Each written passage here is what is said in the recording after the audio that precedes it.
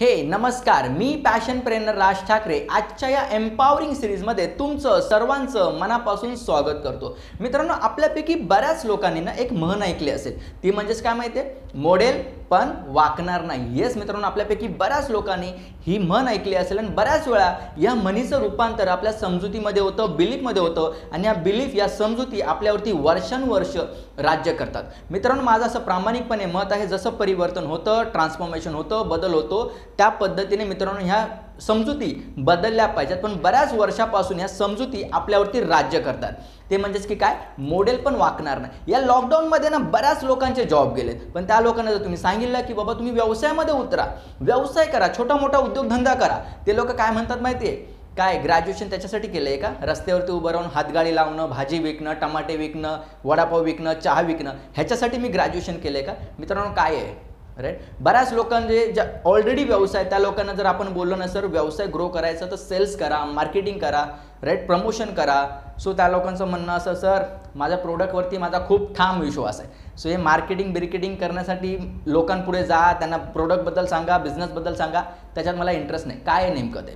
बऱ्याच लोकांना व्यवसाय सुरू करायचा आहे. त्यांना पैशाचं पैशाची गरज असते. त्यांना जर सांगितलं की पैसे उभे करा कर्ज काढा लोकांकडून उसने घ्या फॅमिलीमधून उसने घ्या. बोलतं सर पैशासाठी मी कोणापुढे हात नाही पसरवणार.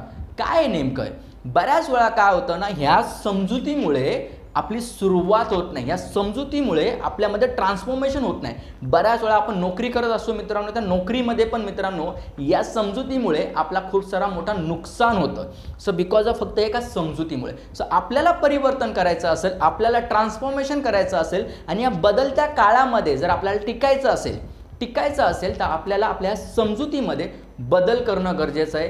ट्रान्सफॉर्मेशन करणं गरजेचं आणि एक नवीन समजूत घेऊन आपल्याला सुरुवात करणं गरजेचं. ती म्हणजेच काय माहिती आहे की मी वाकेल पण मी मोडणार नाही. येस मित्रांनो ह्या बदलत्या काळामध्ये जर मला टिकायचं असेल तर मी वाकेल पण मी मोडणार नाही. सो ही नवीन समजूत आपल्याला डेव्हलप करून आजपासून काम करायला सुरुवात करावं लागेल.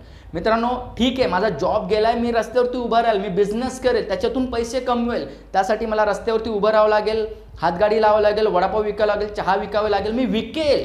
मी वाकेल पण मी मोडणार नाही. मित्रांनो मला व्यवसाय सुरू करायचा आहे. मला कोणी फंडिंग करत नाही मला कोणी पैसा देत नाही. मी इकडून तिकडून लोकांकडून पैसा जमा करेल मी आणेल.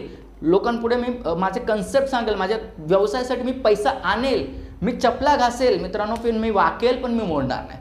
मला बँकेकडून पैसे पाहिजेत राईट त्यासाठी मला जाऊन मॅनेजरच्या खेटा मारावं लागतील. जरा नमतं घ्यावं लागेल. मी वाकेल पण मी मोडणार नाही. माझा व्यवसाय ग्रो करायचा आहे.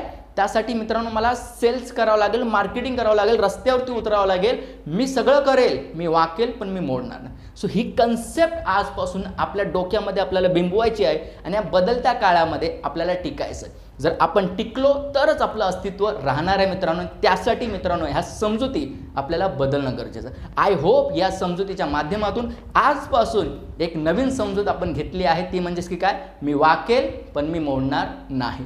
सो आय होप की हा व्हिडिओ तुम्हाला आवडला असेल. आवडला असेल तर नक्कीच तुम्ही आमच्या व्हिडिओला लाईक करा शेअर करा.